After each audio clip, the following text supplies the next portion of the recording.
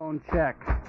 One, two. The microphone check. One, two, one, two. The microphone check. I got my headphones tuned between two different AM stations, and my briefcase is full of declassified information. Declassified, uh huh, mm-hmm, declassified. Good evening and welcome to News from Neptune for the 16th of November in the 46th week of 2012. For more than 20 years, this program has been a spontaneous and unrehearsed discussion of the news of the week and its coverage by the media. First on a so called community radio station, and when censored and locked out of there, uh, an activity, by the way, that's been repeated this week. It's interesting. There's a lot of this going around. Uh, our program was welcomed, I'm happy to say, by the good people here at Urbana Public Television.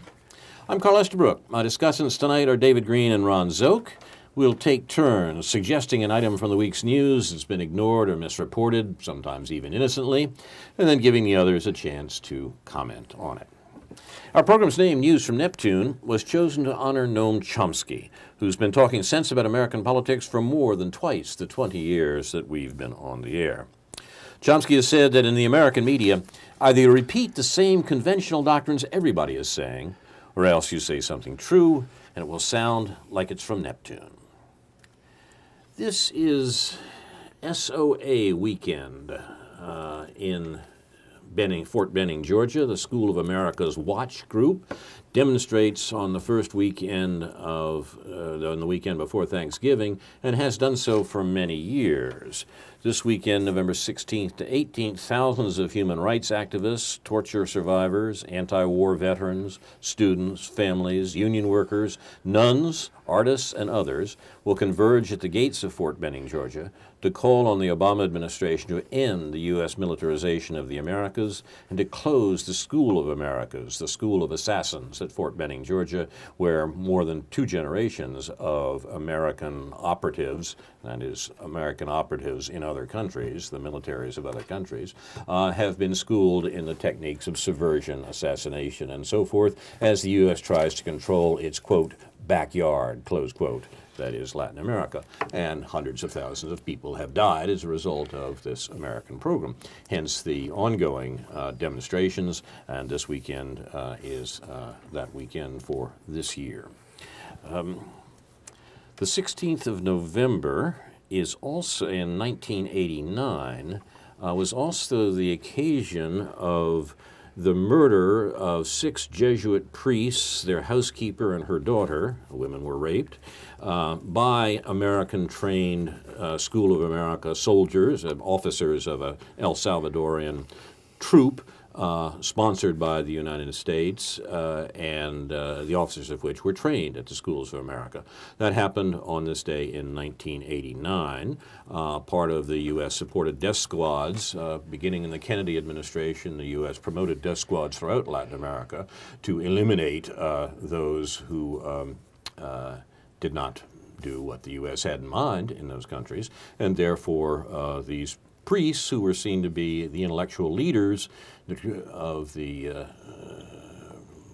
the revolt against U.S. interests in Salvador were killed by uh, these American trained operatives, uh, along with their housekeeper and her daughter, uh, to protect U.S. interests. Uh, the death squads uh, were a feature of American policy throughout Latin America and continue to be so to this day. Remarkably enough, uh, the Special Operations Command, which is the modern uh, form of these death squads in the Pentagon, uh, the spokesman of this group claims that this special operations group is, is active in no less than 120 countries. This isn't some leftist group saying that's what these guys are doing. This is the Special Operations Command itself, uh, which General Petraeus was once in charge of, uh, claiming uh, that this is indeed what, announcing that this is indeed what it's doing. Um, Today, of course, the chief U.S. client is busily killing people in the Gaza Strip, uh, but it's part of the same uh, imperial uh, control, attempt at imperial control that, that is operative uh, throughout Latin America and for which the School of Americas is a, a important support. So you're watching News from Neptune, the Evil Empire edition, and uh, Ron Szoke gets to choose the first evil today. well, I want to start by uh, mentioning what I will call some scenes from the class struggle in Europe You're here. and uh, um, call attention to a couple of uh, headlines. Uh, going back actually to February, there's a uh, AP article Athens reviews steep cuts demanded for the new bailout. So uh, the point here apparently is to maintain or restore investor confidence that their bonds will uh, pay off and to appease Germany and the international uh, economic and monetary uh, authorities that are trying to organize uh, some bailout of the uh, Greek economy. So, just a few days ago, um, there's another Reuters article headlined Anti Austerity Strikes Sweep Southern Europe. Police and protesters clashed in Spain and Italy on Wednesday as millions of workers went on strike against Europe to protest against spending cuts they say have made the economic crisis uh, worse.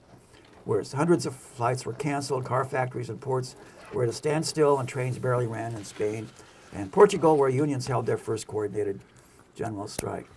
In Spain, 81 people were arrested after scuffles at picket lines and damage to storefronts. Riot police in Madrid fired rubber bullets at protesters, uh, and so on and on. Central Rome, students stoned police in a protest over money saving plans for the school system. Uh, it was the biggest Europe wide challenge by organized labor to austerity policies that have aggravated recessions and mass unemployment in nearly three years since the start of the Eurozone's debt crisis. Uh, so, uh, good deal more uh, there, which I think is uh, edifying. Uh, close to 26 million people are uh, unemployed in the European Union, while governments take aim at spending on treasured universal health care and public schools. In effect, taking resources away from the middle class and the lowest class. And, and so you can uh, uh, restore investor confidence. Quoting, everyone has to do something to call attention to what's happening, said Esteban Quezada, 58, a hardware store owner in Barcelona who closed, closed his shop to join the protests in Spain's second city. Things have to change. Money has ended up with all the power and the people have none. How could this happen? So it's an interesting case of an anomaly there, a shopkeeper taking the side of the uh, um, workers and the uh, uh, middle class people. But uh, uh, I think uh, he's shown some comprehension of what's going on in doing that. But Another article in uh, Reuters analysis European austerity protests far from revolution. So, uh, this is telling us this article by Nicholas uh, and Mark John on November 12th that uh, uh, they called a uh, leftist um, meeting to decide what to do about the French government's uh, belt tightening, it's called. And uh, this uh, triumphantly mentions that only five people turned up at the Cafe Malheur a favorite haunt of the radical left. Maybe that's the reason. Right. Even in the city, quoting where revolutionary credentials date back to 1789, the uprising that began at the gates of, the, of this, its famous prison calls to build a Europe wide popular front against the toughest budget cuts in a generation are falling on deaf ears. Millions of Europeans feel impoverished as countries which broke budget rules for years are prodded into public spending cuts to win back investor confidence in their sovereign debt. ah, the uh, theme of investor confidence. Uh, Again, bursts of street anger have rocked Greece and Spain, two southern countries whose citizens are paying dearly for the profligacy of their past leaders. Mm. So uh, uh, it's really, well, again, uh, a matter of uh, finding out who's to blame, and uh, it's really the uh, leaders who have defi- been defying neoliberal doctrine and uh, uh, spending too much on social welfare uh, measures and the so on and uh, so on, and uh, uh, helping the uh, helping the poor with um, these uh, socialist measures, as we're being told. So.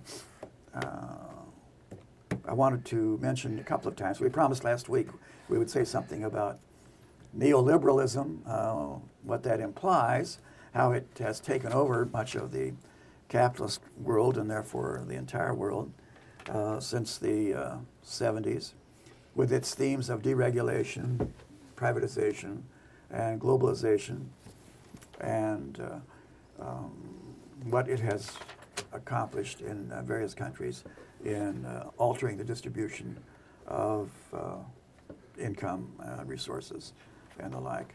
So uh, the resistance movement that has grown up about that we is something we may come back to, but are we anywhere close to something along the lines of 1789 or 1848 or even 1968 in any of these cases?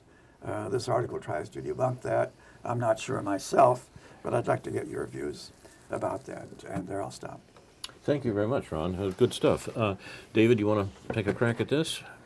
Well, you mentioned 1848, and David Harvey, when he was uh, lecturing here last week, um, begins his talk and his current line of thinking about with 1848 and the response, uh, the rise of Louis Bonaparte, or uh, Mm-hmm. Louis Louis Napoleon, uh, or is it Louis Bonaparte or Louis Yeah, Napoleon? yeah, yeah. Louis- Or Napoleon III to or Na- Louis Bonaparte. Napoleon III to power in France and how he did that and wha- the reason the the the, ma- the the way in which the crisis of 1848 was addressed or perhaps subverted or the rev- rev- revolutionary potential was subverted was by taking capital i- i- you know Harvey refers to crisis regular crises in ca- in capitalism and the way it was responded to was by doing enormous public works programs, and that meant that uh, modern Paris was built with Right. its boulevards and edifices of various kinds, uh, was built in this uh, in this uh, period subsequent to 1852 Grandeur. when Louis came came to power. Um, so the the question becomes, what does it mean that that capitalism uh, um, suffers these recurrent crises? What's the nature of these crises? And of course, the nature of it has to do with with profits and and declining profits. And what where do declining profits come from? Well, one place that declining profits can come from is when the workers start getting too much spent on themselves, either in forms of wages or in government programs, which lessen inequality and provide a social safety net. So crises in capitalism, crisis in capitalism can, to, can be seen to have a kind of ironic aspect to it, just like when we, we've referred to the crisis crisis in, in you know demo- democracy that was declared in the 1970s. It wasn't a crisis of not enough democracy; it was a crisis of too much. right. And so, crises of capitalism occur when too much of the benefits of the perhaps potential benefits of capitalism or increased productivity or profits find find uh, their way into the hands of the general social good rather than into the hands of what is now being referred to as the one one percent. So how is it that that this these crises in capitalism how does that relate to modern Europe? I mean, in many complicated ways. But when you when you raise the issue of Spain, for for instance, where does money go to make exorbitant profits? Well, one of the places where it went was to Spain and into the housing market in Spain, just as it went to the housing bubble in this country. It was a way of sort of making an end run around all the difficult things about investing in businesses and worker productivity and selling products and all the all the things that, that capitalism is supposed to hang its hat on in selling itself to the broader po- uh, populace, but instead, the all of this excess capital that couldn't, that wasn't getting rewarded enough, uh, found its way into certain areas. One of them being Spain, And it's worthy of note in that context that Spain, unlike Greece, was not one of the countries that was suffering, that was uh, that was running up government debt at that at that time. It was running a fairly balanced balanced budget within this kind of uh, social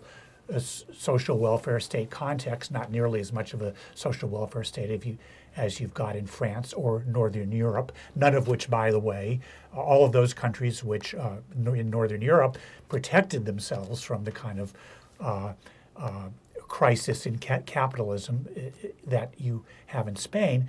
But all that money flowed into Spain, increased property values, uh, sucked enormous, enormous amounts of wealth out of the uh, the the economy, the you know the real economy, so to speak, the the fundamental economy, and what what we end up here with is Spain being a part of the European Union, having to um, having to answer to not being able to uh, deal with its own currency issues and its own budget issues, but having to dance to the tune of the European Union. So I have a whole series of things which uh, through no fault whatsoever. You know, in Greece, you could make a little a little case about government profligacy, co- corruption, people not paying taxes, and so forth.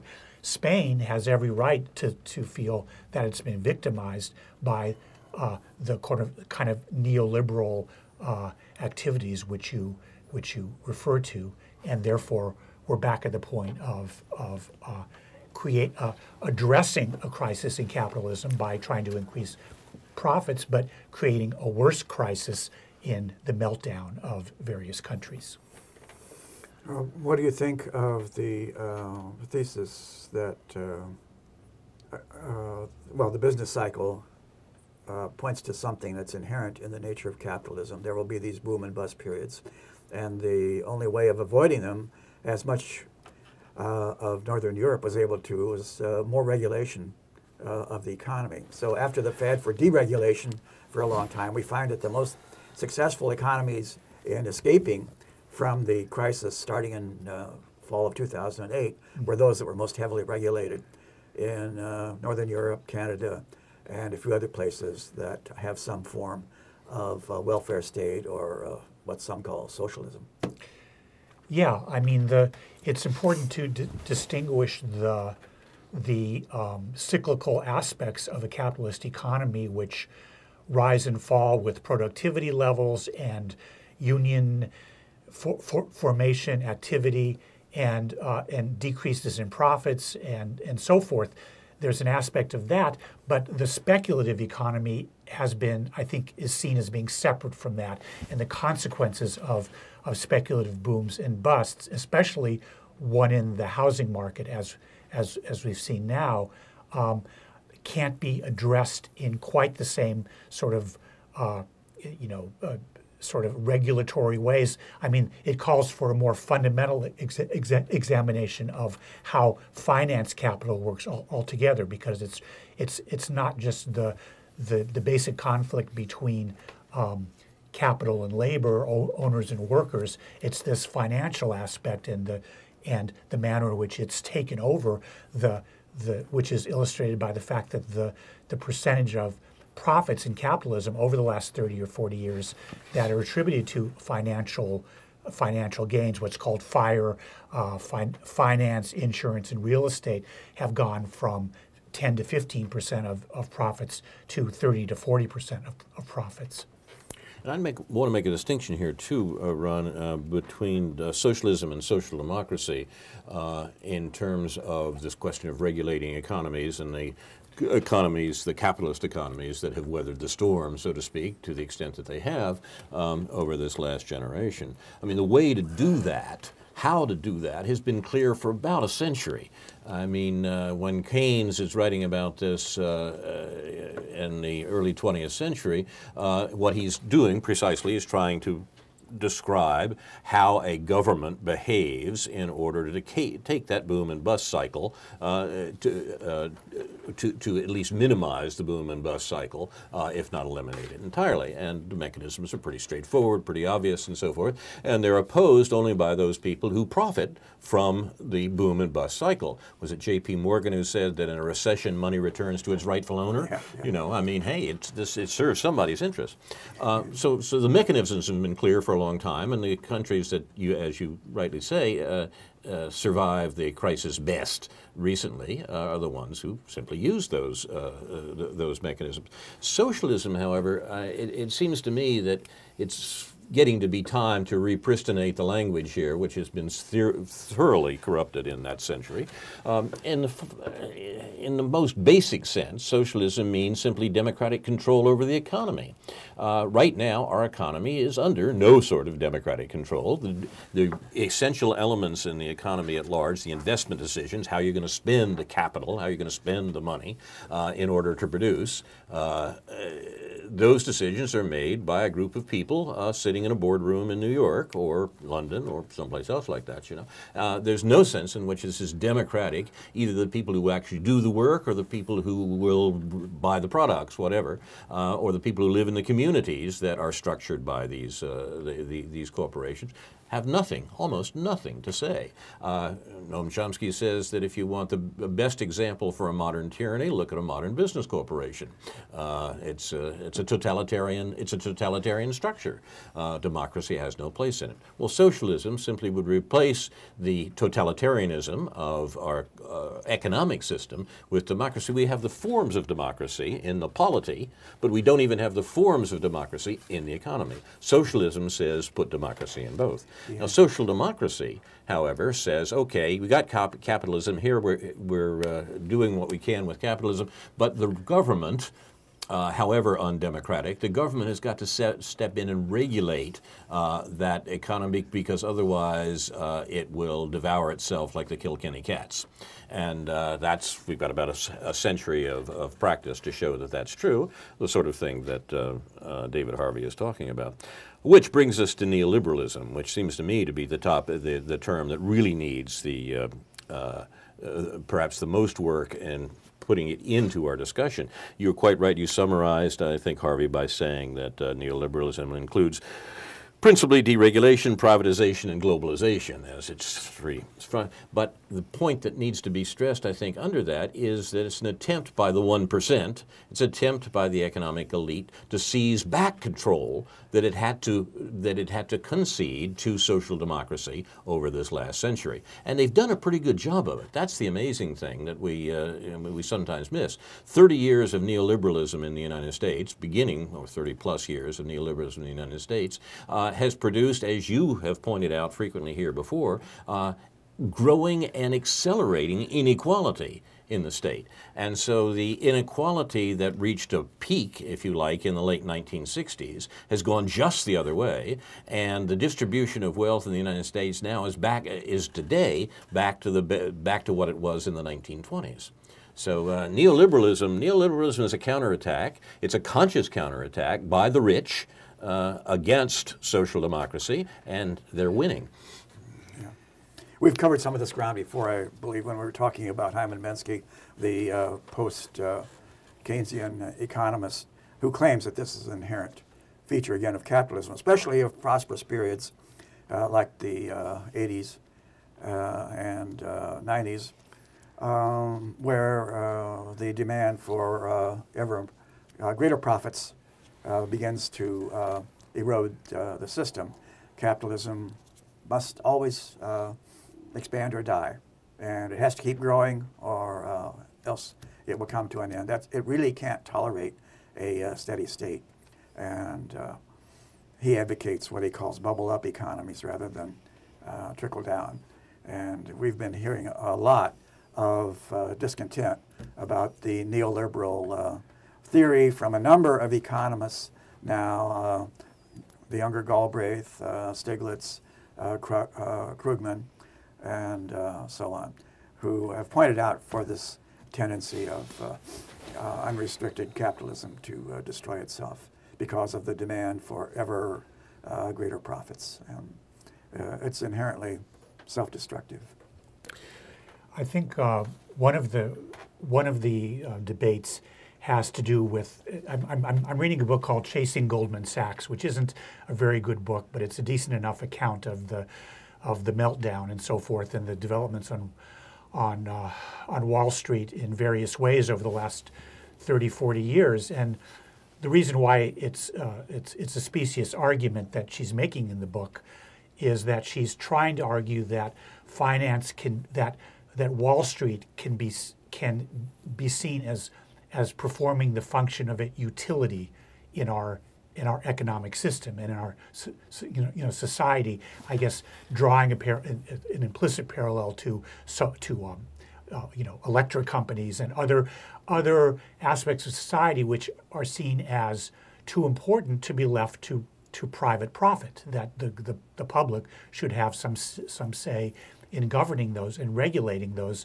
uh, because of the way markets work. So she's arguing that that the manner in which money's invested is a is a utility in that sense, but where I where I lose her and where she becomes an apologist for Wall Street is she's sort of acting like, well, Wall Street gets out of hand every so often, and they develop all mm-hmm. these instruments for making all this money, and they forget what their mission is. well, you know, their mission is to make money, yeah. and they'll they do, as her book very well documents, they will think up of any means pro- productive in a real sense or not to make the most amount of money in the shortest amount of period for the fewest number of people regardless of the consequences to the society as a, as a, a whole so the question becomes if finance can be seen as a utility and if it can be seen as a public utility, how would it how would it be governed? And um,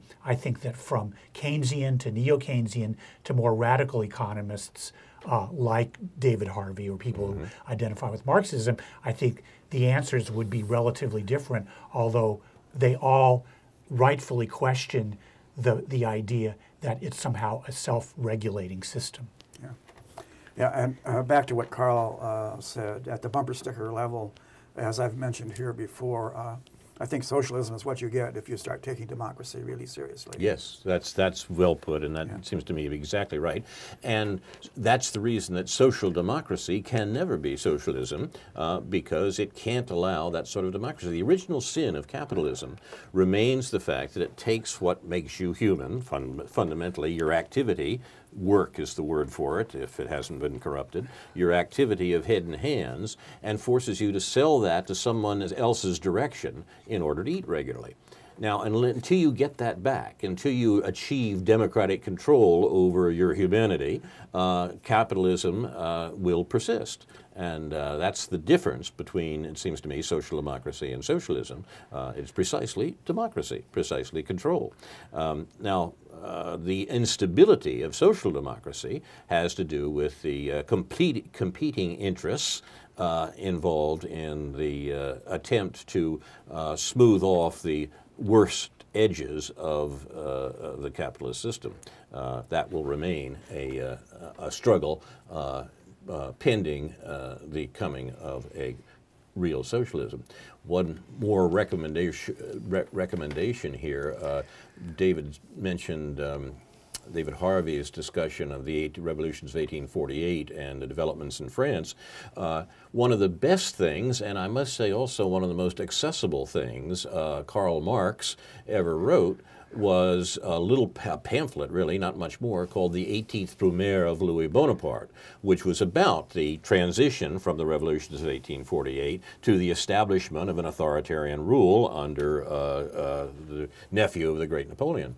Um, now, this, uh, uh, this is interesting because this is Marx not being theoretical. He's talking about the actual historical development and how the theories, if you like, are played out in the actual facts of the uh, mid mid 19th century. Uh, this is the sort of thing that we should be doing, it seems to me, here, and I think we're trying to do today. What do you understand by the term Bonapartism? Um, roughly authoritarianism, but in a um, uh, uh, authoritarianism, uh, an authoritarian political system in a burgeoning capitalism. Uh, in other words, not in a, in a late capitalism, so to speak. I think just to conclude with what a couple of references to what Harvey is arguing in his latest book, and I mean what he generally argues and what he said in his lecture here.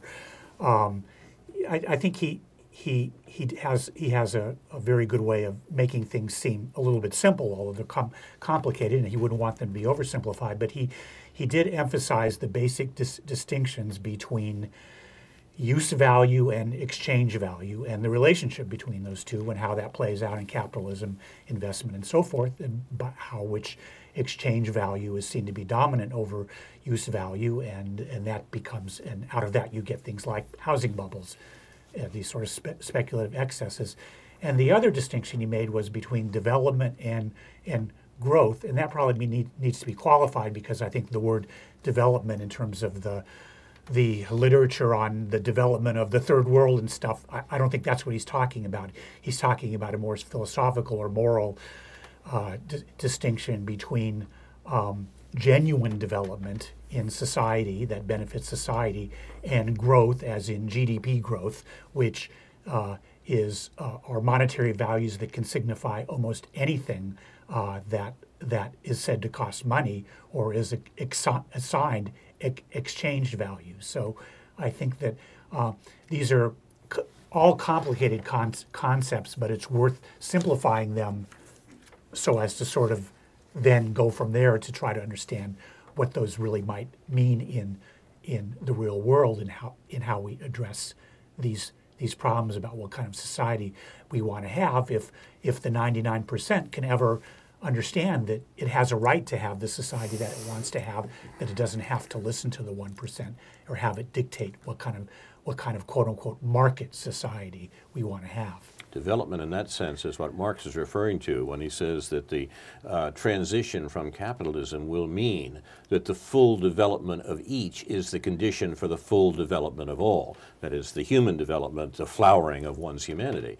Uh, and uh, this is the sort of thing that uh, uh, means that every time Marx tries to talk about a post capitalist world, he lapses into poetry, naturally.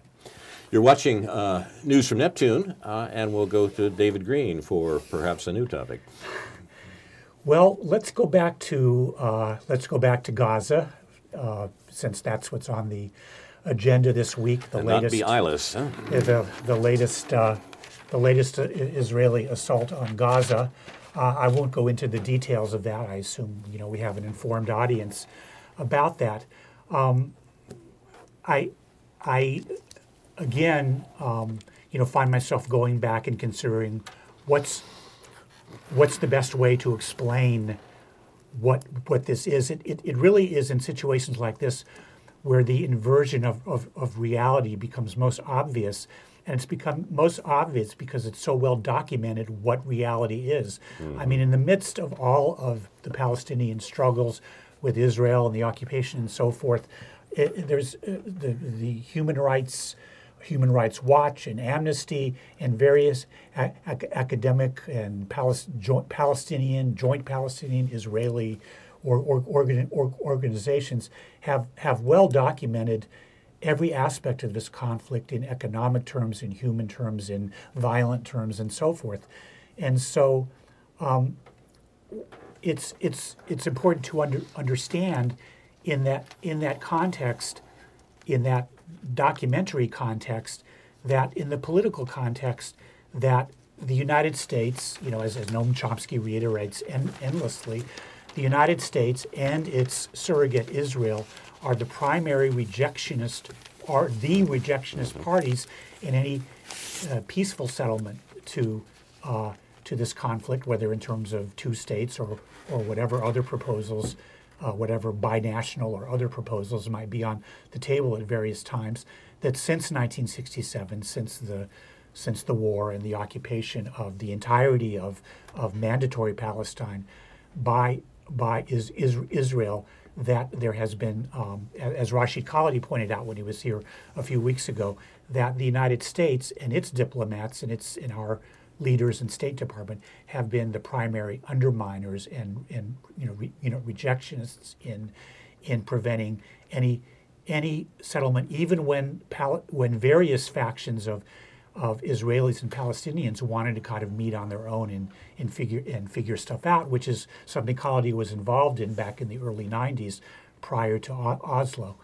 Um, in the context of the current, uh, you know, the, the, the, the history of Gaza and of violence in Gaza has been so intense in the last 10 years that it's hard to, you sort of have to look back and realize all of the incursions and the ongoing violence and, and try to sort all that out.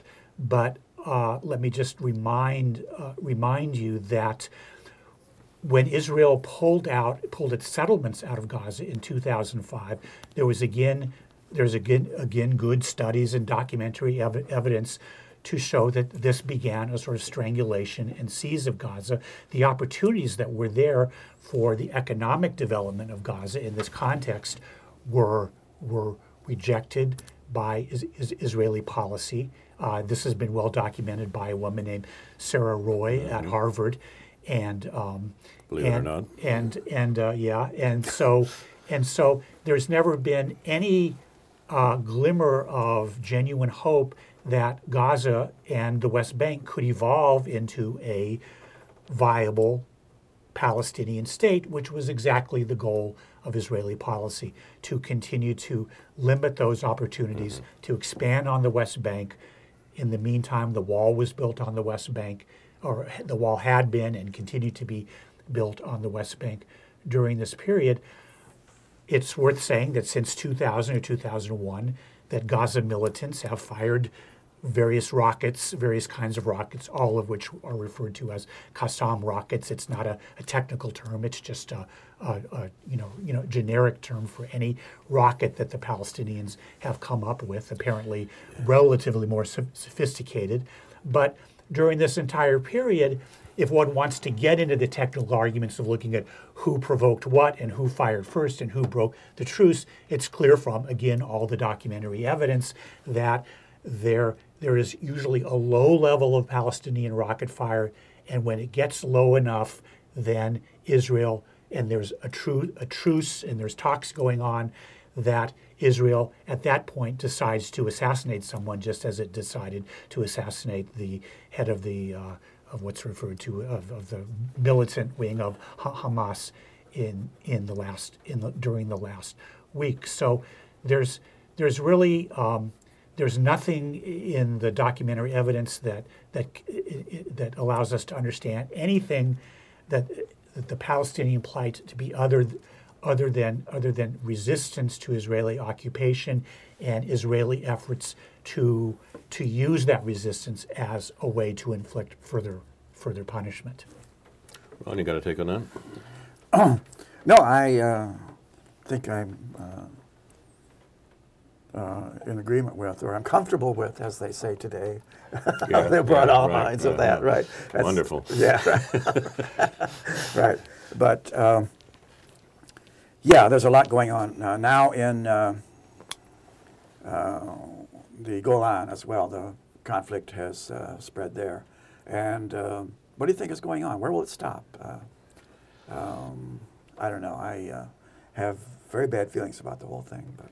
I think one of the things that has to be in a minute, of, you know, where would it stop, is, is to realize that the choice to carry on the current bloodletting uh, is a conscious choice by Israel to keep the war going. I mean, even the assassination of al-Jabari, the guy who's presented in the, uh, uh, the, the, news as the military leader of Hamas, the political party that's in charge uh, in, in Gaza, uh, the, the murder of al-Jabari is interesting because, in fact, although he is described as a military leader, his recent role has been to uh, try to bring the various groups in Hamas under the control of the Hamas government in order to establish a, uh, uh, in order to maintain the ceasefire.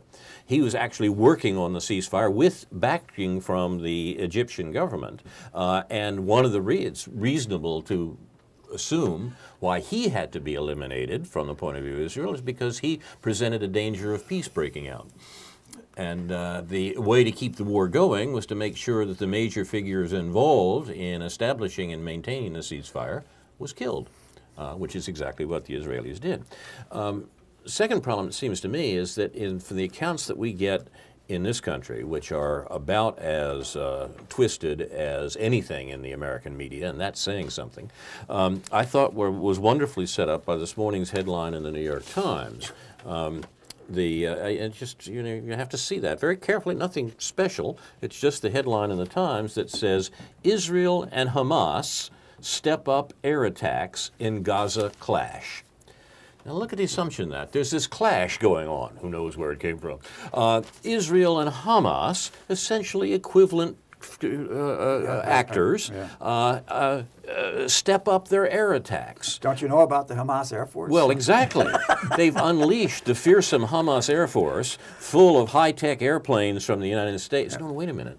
Right. Hamas doesn't have an air force. Right. Israel does have uh, probably the third or fourth best air force in the world, uh, made up. Hey, you paid for it; you might as well enjoy it. Um, and uh, it's uh, it, but but that's this even-handedness of the New York Times account. And the New York Times here is not unusual. The New York Times uh, is is simply doing its job as the flagship paper, setting the tone for the rest of the media, who will all talk about uh, this uh, even, relatively even conflict. And the U.S., as the honest broker, has to decide which, which, which side is guilty in this case, who provoked this particular crisis in the way that David just explained. And therefore, the State Department says, of course, it supports Israel's attempt to defend itself.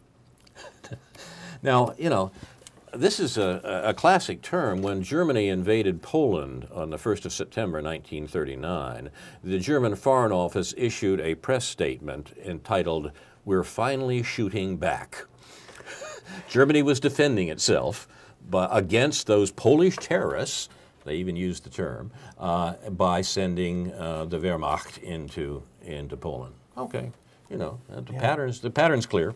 Did you ever read online uh, Goebbels' uh, end of year statement, uh, uh, 1939, that uh, this was all started by uh, Poles making raids uh, into uh, Germany exactly. across the line and uh, harassing and, and, injuring German citizens. And, and uh, so we have a right to defend ourselves. Ex- this is this is precisely the language. The only difference is that they're talking about the Hamas rockets. Most of them essentially homemade. These yeah, are big yeah. firecrackers. Eh? Yeah, they um, have no they're skyrockets. System. I mean, you know, um, and uh, the fact that uh, I mean, yeah, the the the account is uh, absolutely symmetrical.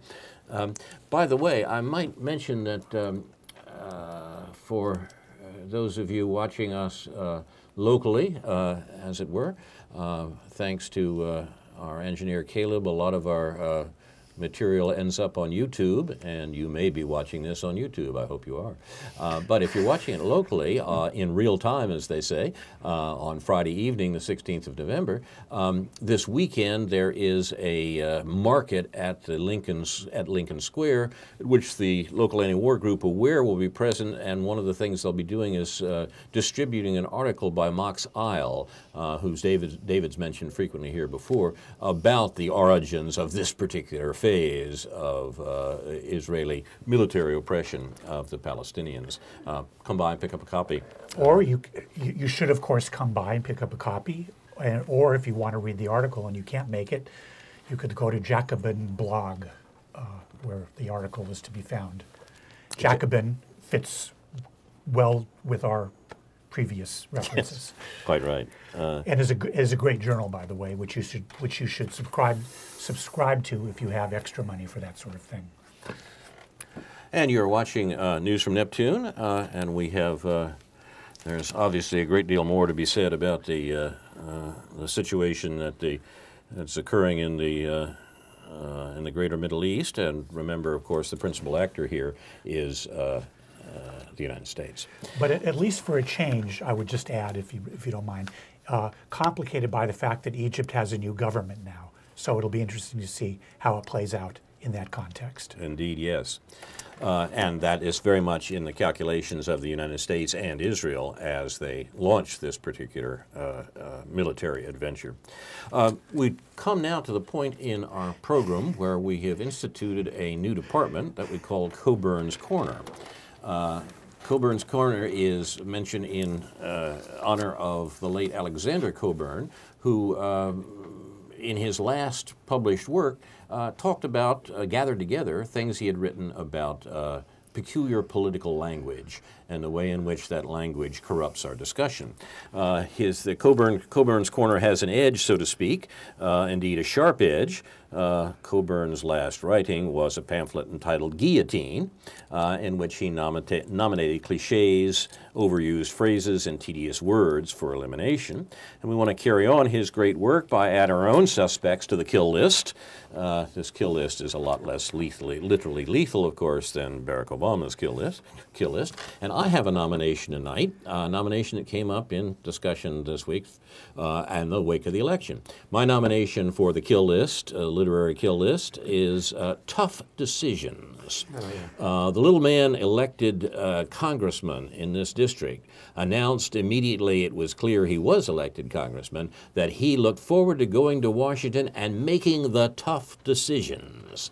Now, this bit of language is very interesting because tough decision means uh, something to be done by the government that is contrary to the interests of the majority of his constituents uh, like cutting Medicare, Medicaid, Social Security, uh, increasing the defense budget, uh, doing something else uh, in that regard. So when you hear politicians, particularly even little local politicians, talk about going to Washington to make the tough decisions, know uh, that your fat is in the fire. Yeah. What it uh, sometimes means, maybe often means, is decisions that are contrary to the interests of most of your constituents. Exactly. Or yes, that's, that's the sometimes point. called, also called leadership. Yes, exactly. and but and it's worthwhile to specify whose interests they're in, since Yeah. they're not in the interests of the majority of the constituents. They're in the interests of what Occupy Wall Street calls the one percent, and these people know it perfectly well. I mean, uh, so you know, tough decisions. Yeah, when you hear it, uh, beware. Are you Beware comf- because you will be called on to make sacrifices. right? Everybody has to sacrifice. Of course. I mean, Almost everybody. Yeah, yeah. Another instance. Are you comfortable with that? Ron, do you have a, a nominee Yeah, for the yeah. guillotine? Yeah. Well, these are some that turned up online recently. Having said that, uh, You always yeah. bring in more suspects than anybody else. I don't know what's right. going on here. Yeah, that's a real game changer. That's one of Obama's favorites right, too right. for a long time. Yeah, have we reached a tipping point? Yeah, yeah. Yeah, we need to drill down into the uh, Ooh. particulars. Where do they get that image from? Right, right. But uh, uh, we make the Uber point. Uh, some that's German here. yeah. That at the end of the day, it'll be awesome as, as we're going forward if we do the math and Yeah. get reach an epic uh, conclusion. Okay, So- I heard him into the tumbrel. So, uh, yeah, uh, all right, uh, iconic. I have to return to. That's I, more you've more- mentioned that each time. That's yeah, clearly it's your really iconic more and example. more, uh, annoying. Are you iconic or awesome or anything like that, David? Awesome. Yeah, I'm gonna. I, yeah, I have to um, second. Um, you you all- you stole my fire here because I only I only came in with having said that. but let me. But uh, let me say. I mean, I think that makes a good companion to Carl. Last week you talked about moving forward. Yeah, and I think that Yeah. in a way, having said that, makes it's it's you know sort of performs a related function. Whereas the moving forward says forget about. Right. Uh, what's past? We're Right, well, moving it kinda forward. nullifies what having, having said that, also Right. is a way of sort of cushioning the the blow by like you know by uh, uh, you know complimenting someone and then and then and then acting as if you're not simply buttering them up by by saying by then criticizing them. So so the having said that sort of um, tell, uh, you know warns us that what has just been said is of no longer any any account. We're we're moving forward. That's right. So as, for instance, I might say, Caleb, our you know our you know you know director at News from Neptune, you've been doing a great job. Having said that, imagine how much better a job you could do if you came to work sober. What is this, David? You're not happy with your camera sh- camera am- angle there or something? I mean, Uh, Well, I've been promising Caleb to fit him into, Oh, into the and that's how you decided to do it. Wonderful. Well, so anyway, that's that. I don't have any more.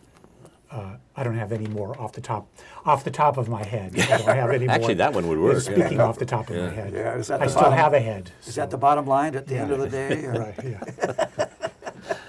Okay, well, we'll uh, we'll turn Cockburn's corner then, and uh, I, I uh, was prompted by one of the things that uh, Ron started with to mention something that came up this week. Um, uh, the uh, Professor Richard Wolff, uh, the economist who turns up in various places these days, uh, talking sense most of the time, it seems to me, uh, had a piece this week about uh, the situation in Europe that Ron began tonight's program with. Um, and uh, Wolff piece is entitled Will EU Nations Turn Over Tax and Spending Sovereignty to Germany? Talking about the way in which this, uh, the political uh, developments of uh, Europe are playing out in the context of the drive for austerity, uh, which remember is finally a drive on the banks insisting by the banks insisting on being paid by these governments uh, whose revenues have dropped sharply with the uh, international recession. Uh, but the uh, role of Germany is highlighted usually in this, and I was reminded of a novel. Um, from 1992 by Robert Harris entitled Fatherland. Um, interesting book. Harris is a former journalist and uh, an interesting novelist. Um, his 92 novel is set in an alternate history in which Germany won World War II. And the novel begins in still Nazi Germany in April of 1964, in the week leading up to Adolf Hitler's, who still exists, 75th birthday. Uh, the novel was a bestseller in uh, the UK and sold fairly well in the United States.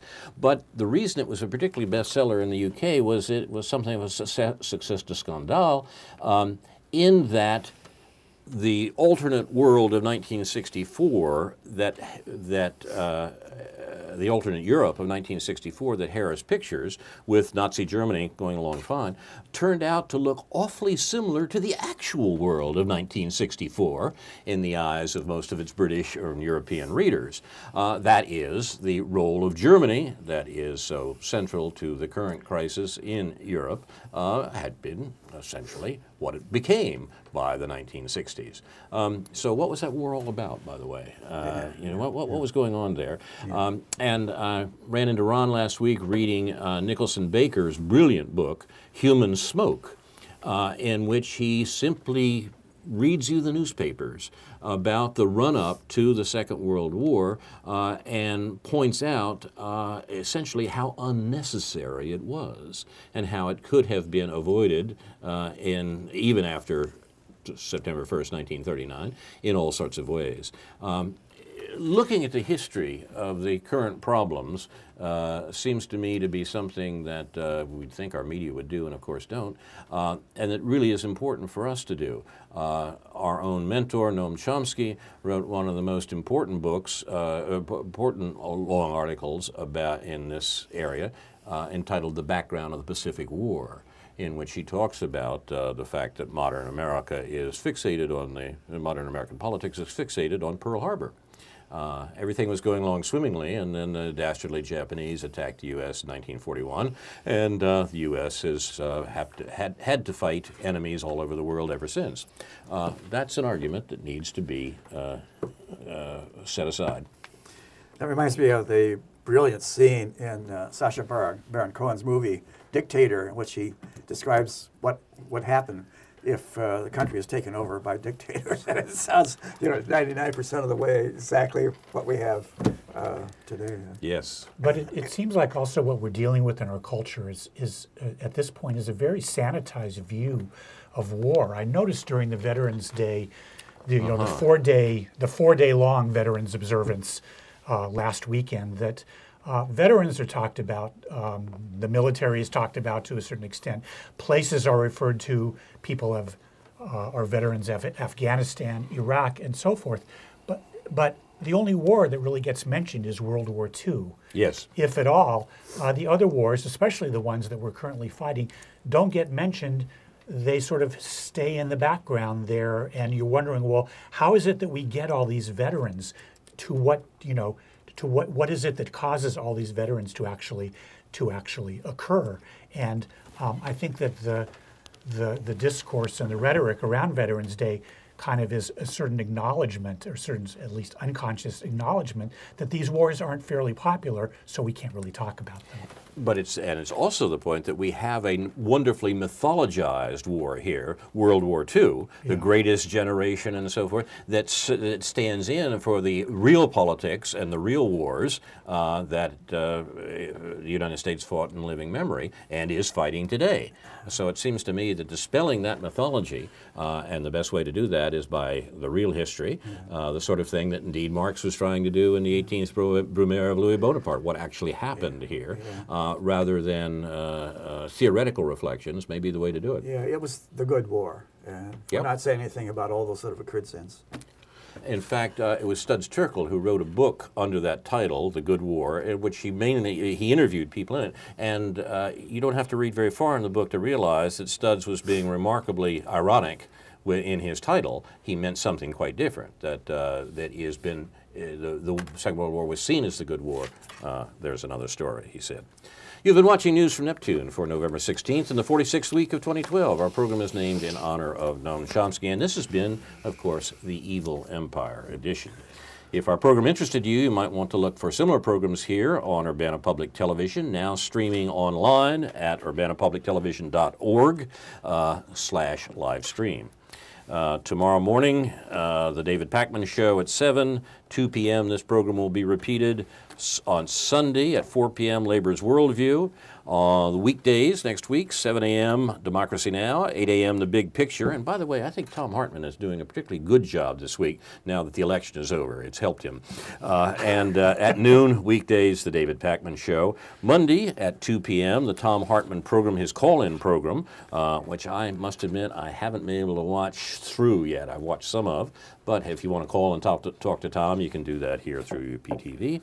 And Tuesday at 10 p.m., Aware on the Air.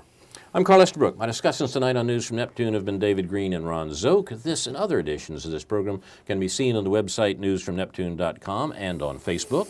I can be reached at carl at newsfromneptune.com and on Facebook, and I'm happy to receive your comments.